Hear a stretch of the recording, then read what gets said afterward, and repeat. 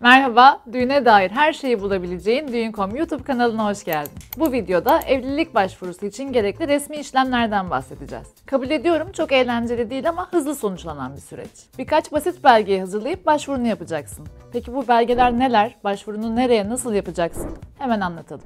Düğün için her şey düğün.com'da. Belgelerle başlayalım. İstenen belgeler belediyeye göre değişiklik gösterebiliyor.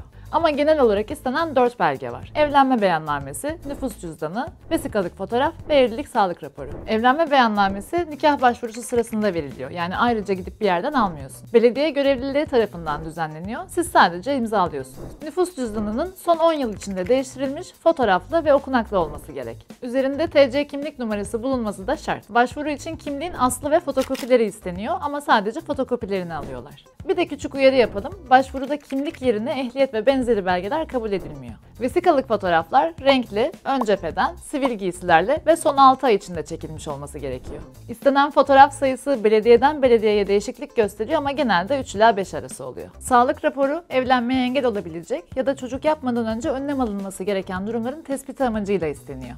Raporu almak için kan tahlili ve akciğer filmi gerekiyor. SMA testi de artık zorunlu. Bu tetkikleri istediğin sağlık kuruluşunda yaptırabilirsin. Ama özellikle belirtelim sağlık raporunu sadece ve sadece aile hekimi düzenliyor. Dört temel belgeyi saydık ama bazı belediyeler bunlara ek bazı belgeler de talep edebiliyor. Mesela ikametgah belgesi. İkamet adresiniz başvuru yapacağınız belediyeden farklı bir bölgedeyse ikametgah belgesi isteniyor. Eğer aynı ilçedeyse adrese dayalı sistemden görüldüğü için bu belge istenmiyor. Diyelim Avcılar'da oturuyorsun ve Avcılar'da evleneceksin. Senden ikametgah belgesi istenmiyor. Ama nişanlın farklı ilçede ikamet ediyorsa ondan ikametgah belgesi istenebiliyor. Eğer başvuru yapacağınız belediye e-devlet sistemine entegre değilse nüfus kayıt örneği gibi ek belgeler de istenebiliyor.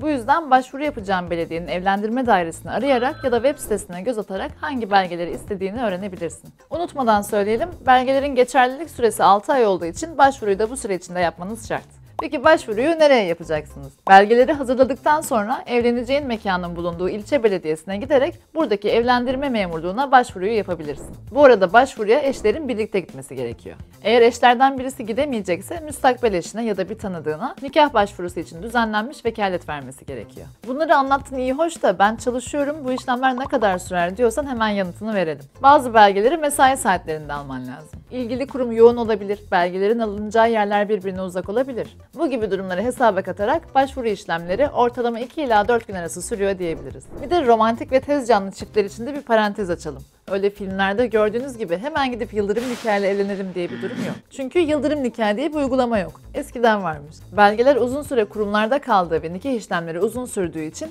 bir an önce evlenmek isteyen çiftler mahkeme kararıyla yıldırım nikahı kıyıyormuş. Ancak artık böyle bir uygulama yok.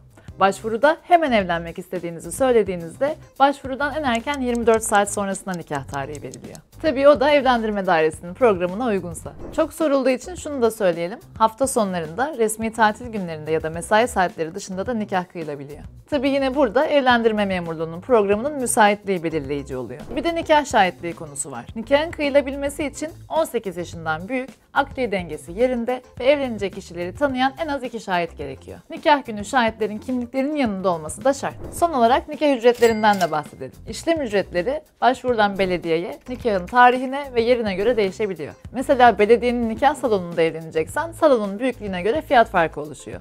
Dış nikahsa mekanın mesafesi ve türü de fiyatları etki ediyor. Tarih de önemli. Hafta sonu nikahları hafta içine göre genelde daha yüksek fiyatlı oluyor. Başvuru sırasında çiftlerden evlilik cüzdanı ücreti de alınıyor. Ortalama olarak fiyatları görmek istiyorsan da açıklamalar kısmına bakabilirsin. Evlilik teklifinden evlilik cüzdanına giden bürokratik yolda bizim rehberliğimiz burada sona eriyor. Konuyla ilgili daha fazla detay istersen açıklama kısmına bıraktığımız içeriklere mutlaka göz at. Aklına takılanlar varsa yorumlardan bize ilet hemen yanıtlayalım. Kanala abone olup bildirimleri açmayı da unutma. Bir sonraki videoda görüşmek üzere.